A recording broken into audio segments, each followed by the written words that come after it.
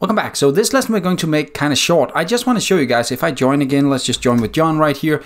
Everything is running and we're getting that unique identifier that we want.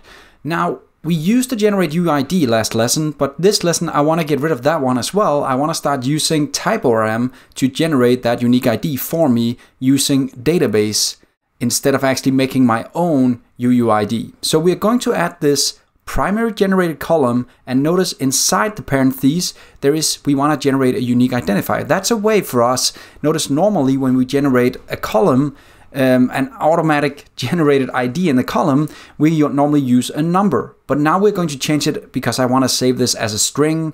I'm just I just like that as strings instead of numbers. We are actually going to use this primary generated column with a unique identifier, and then automatically TypeORM will build probably using a library similar to this guy, it'll build and add a unique identifier every time we create a new client. So let's try and grab this line right here and let's find our backend code. It's right here. We will not use this guy anymore. We will actually completely remove this guy from the system.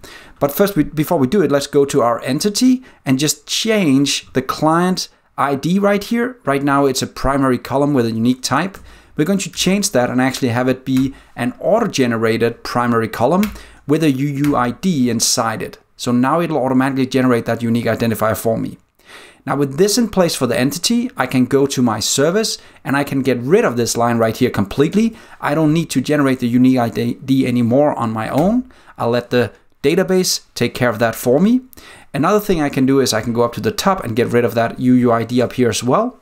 And the final thing I can do is I can run an npm uninstall down here to get rid of that package we just added last lesson.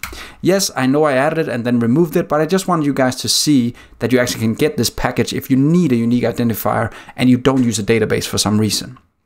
Sweet, so now we have that created. Let's see if our code is still running as we expect. Let's go and create a new user here. Let's join with Bill and see if he actually joins with a unique identifier again. There we go, Bill has joined with a unique identifier. Let's see in the database as the final thing. We have two users and notice the IDs are very similar because they're both UUIDs, but the difference is that the first one is was built using that library we added last lesson, and the second one is now built using the entity and adding this auto-generated column right here. Now again, the UID will start using that next lesson, so that we can actually start being more intelligent if we are logged in or not. So I'll end the lesson right here and see you next time where we'll have more fun. Bye bye.